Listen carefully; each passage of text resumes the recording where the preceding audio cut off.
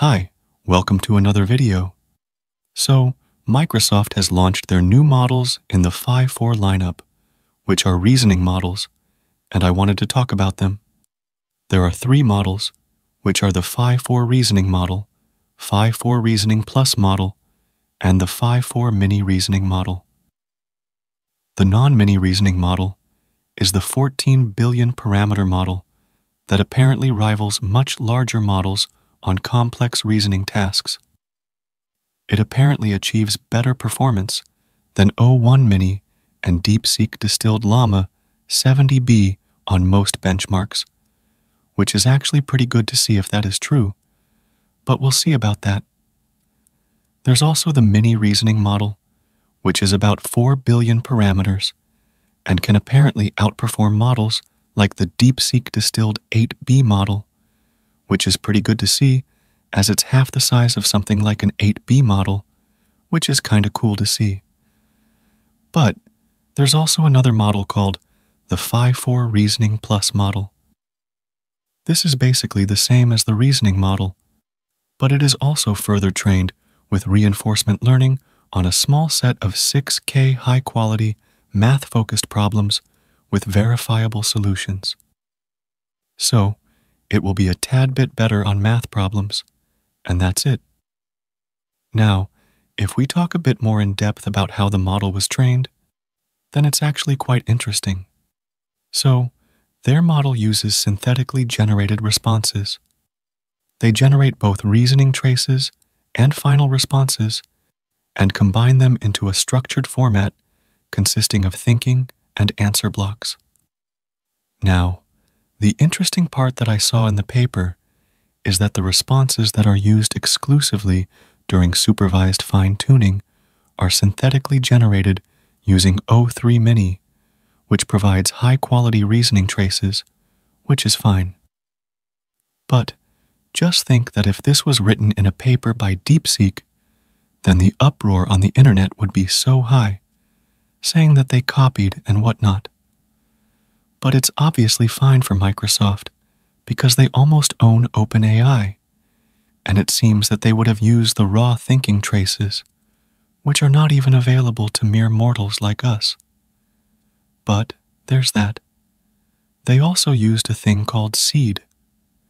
Seeds are a set of prompts or problems which are used in both supervised fine tuning for Phi 4 reasoning and reinforcement learning for Phi 4 reasoning plus.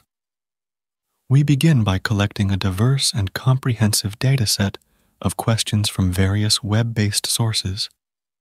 They supplement this with synthetic questions generated to be grounded in high quality, filtered web content. At this initial stage, their focus is on maximizing diversity and coverage. Basically, these are synthetic questions that are generated just on the areas that Phi 4 is bad at. Another thing that I found interesting in the paper is the system prompt that they have trained it on. They have trained it to always print the thinking traces in the reasoning prompt, and they have enforced that with a system prompt which looks like this for it. I found it interesting because you can use it in some other models as well to make it think if you want.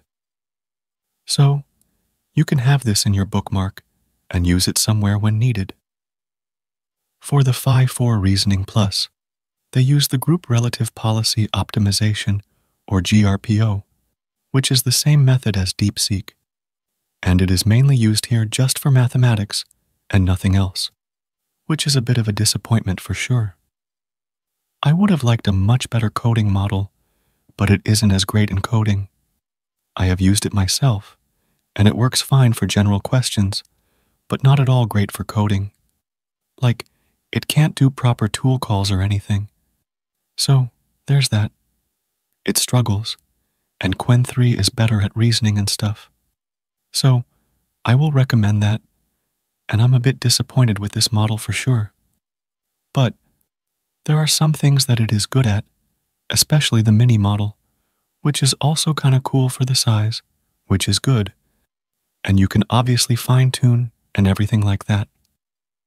It is available on Ollama as well, so you can try it locally, which is kinda cool. However, it is also available on GitHub Models, so you can head on over there and use it, and it also has a free API there which you can use. So, let me just tell you how you can use it with anything that you want to use, mainly Cline and Roo code.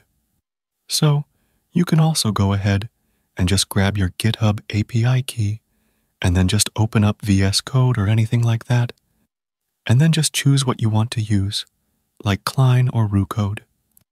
Now, head on over to the settings and create a new profile, and then select the OpenAI compatible option as well. Now, head on over and put the base URL that you get from GitHub model, and then also put in the model name and save it. Now, you should be able to use it accordingly. I'm not using it as much because it doesn't perform well with tool calling and stuff. So, there's that. And the context window for the models is also low and not as great. That's also an issue. GLM4 is still the best coding model that you can probably use locally, and this might be good for general questions and answers. But for anything else, it is not as good. I liked the base Phi 4 model, but these reasoning variants are not as good, and it shows that making these reasoning models still remains a tough option for companies, even like Microsoft, to nail correctly. Anyway, I really found it cool and the research paper is also amazing. So, I've been reading through that and thought to share my thoughts about it and tell you guys about it as well. You can go ahead and fine tune it or anything like that, which is the best part about having open weights models. The license is also very non restrictive, so that is also super cool to see. I really would like to see a Phi 4 coding focused model that would actually be a really good coding model that we can use locally. I also would have liked to see better tool calling support in these models, but that is not yet available. So, there's that as well. Let me know what you guys think about these models in the comments, and if you have found a good use case for it yet, and if it is turning out to be useful. It can be easily run on a computer with like 16 gigs of RAM which is pretty awesome for sure. So, comment below and let me know. Please subscribe to the channel and share your thoughts as well. I'll see you in the next video. Bye.